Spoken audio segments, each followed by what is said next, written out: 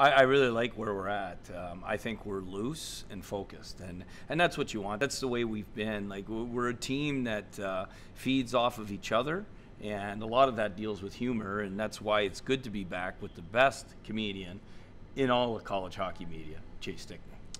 Yeah, I mean, we believe, and uh, that that's what you want your team to be thinking right now. I think our confidence is at an all-time high. Our offense is clicking at the best rate it ever has. Our power play is, and our play without the puck, which uh, oddly enough, uh, some people think is the weak link of our team, has been a strength all year. So I, I like that that people think that uh, we're, we're, weak in our defensive zone. I, I, just think we're that focused and committed right now. I mean, I think we're staying in a moment. We think about our process, and I said it to the team last night. I said if anyone said we were going to score 13 goals against BU and Ferris, you guys would have been, it's crazy. But when we stay in a moment and we're thinking about just the next play, great things like that happen. And that's what they did. I don't know what the distance is from here to Mars, but that's the difference between our teams. I mean, we were at our um, nadir and now we're at our zenith and that's the only way to explain it is that everybody understands their roles they they're playing to their um, maximum levels right now, and their confidence is sky high.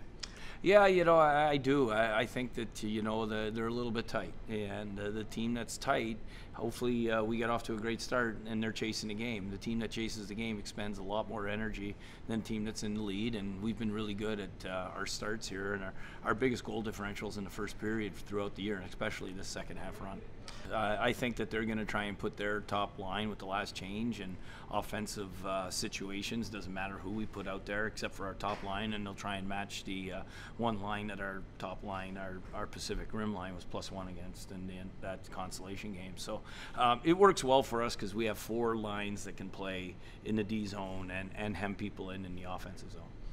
Well, I think Tanner's just very confident. Uh, he's been very vocal, and he understands that this is his team. And uh, he, more importantly, he knows his confidence. Uh, his player, his teammates have great confidence in him. All right. Well, the Pioneers' first visit to the to the Frozen Four in 11 seasons, and it would be very, very nice to uh, get this big win tonight and enjoy a day and a half by the pool. It sure would be. And you know what? Uh, like my wife told me this morning, she goes, I, I want to stay till Sunday. And I'm saying, okay, well, I'll tell the team and we're going to make it happen.